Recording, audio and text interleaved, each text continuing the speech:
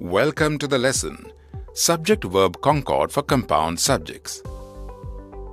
After completing this lesson, you will be able to state subject verb concord for compound subjects. List the rules of subject verb concord for compound subjects.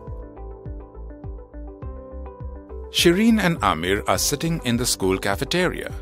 They are talking about the new play that is showing in the town theatre. Shireen tells Amir that either Kea or Zwinky are going for the play. Amir corrects her and says it is either Kea or Zwinky is going for the play. Shireen is not aware that she must use the verb is. Amir tells her that it is simple if one knows subject verb concord for compound subjects. He decides to tell Shireen more about it. Let us also learn about subject verb concord for compound subjects. A compound subject is made up of two or more subjects that are connected by a coordinating conjunction. Coordinating conjunctions are used to join sentences and, or, nor are examples of coordinating conjunctions. We must remember that the subjects that form a compound subject have the same verb. Read the following example. Tina and Geeta learn French. Tina and Geeta form a compound subject. They are connected by the coordinating conjunction and. Both of them take the same plural verb learn. There are certain rules for subject verb concord for compound subjects. Let us look at them. When a compound subject is connected by and, both the subjects take plural verbs. For example, the girls and boys have gone for the picnic. The subjects girls and boys are connected by and they take the plural verb have gone. A compound subject that refers to one thing or idea or person or to something considered as one unit takes a singular verb. For example, bread and butter is my first meal of the day. Bread and butter refer to one meal and take the singular verb is. Look at the next sentence. My friend, my brother, and my inspiration is Ashish. The compound subject refers to one person, Ashish, so it takes the singular verb is.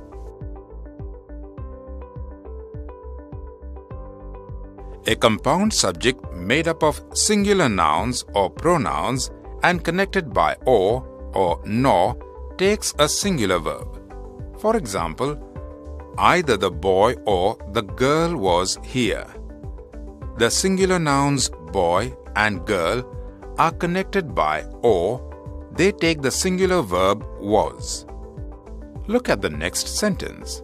The singular pronouns he and she will take the singular verb has left.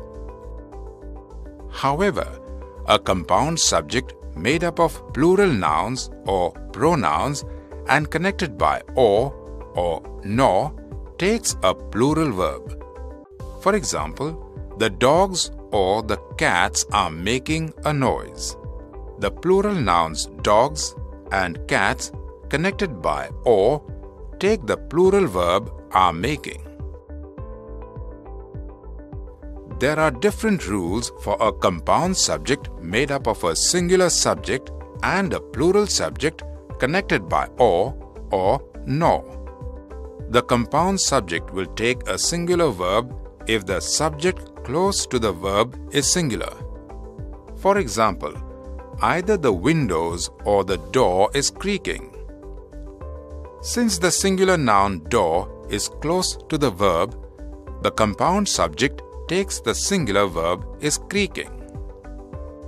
The compound subject will take a plural verb if the subject close to the verb is plural. For example, neither the boy nor his friends have found the coin. Since the plural noun friends is close to the verb, the compound subject takes the plural verb have found. When the subjects joined by or, nor are of different persons, the verb agrees with the nearest subject. For example, either he or we are wrong. Since the subject we is close to the verb, it takes the plural verb are. Look at the next sentence. Neither you nor she is disloyal. Since the subject she is close to the verb, it takes the singular verb is. When I is one of the subjects joined by or, nor, it is usually placed closer to the verb.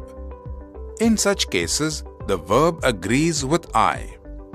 For example, neither he nor I know how this ends. In some cases, when the subjects are of different persons and number and connected by and, the verb will be plural. For example, the girls and I are talking. The plural verb are talking is taken. This is because girls and I can be spoken of as we. Hence, the verb is plural. Look at the other sentence. You and he are fond of dance. You and he can be spoken of as the plural you. Hence it takes the plural verb are. We have looked at subject-verb concord for compound subjects. Let us now read some more examples.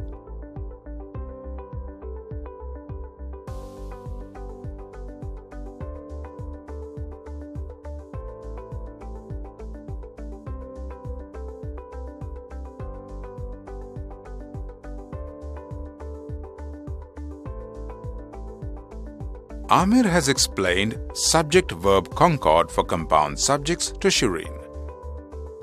Let us now revise the main points for Shireen before Amir and she leave the cafeteria. A compound subject is made up of two or more subjects that are connected by a coordinating conjunction. Coordinating conjunctions are used to join sentences and, or, nor, are examples of coordinating conjunctions. The subjects that form a compound subject have the same verb. There are certain rules for subject-verb concord for compound subjects. When a compound subject is connected by and, both the subjects take plural verbs. A compound subject that refers to one thing or idea or person or to something considered as one unit takes a singular verb. A compound subject made up of singular nouns or pronouns and connected by or or nor takes a singular verb. A compound subject made up of plural nouns or pronouns and connected by or or nor takes a plural verb. There are different rules for a compound subject made up of a singular subject and a plural subject connected by or or nor. The compound subject will take a singular verb if the subject close to the verb is singular. The compound subject will take a plural verb if the subject close to the verb is plural when the subjects joined by or, nor are of different persons, the verb agrees with the nearer subject. When I is one of the subjects joined by or, nor, it is usually placed closer to the verb. In such cases, the verb agrees with I.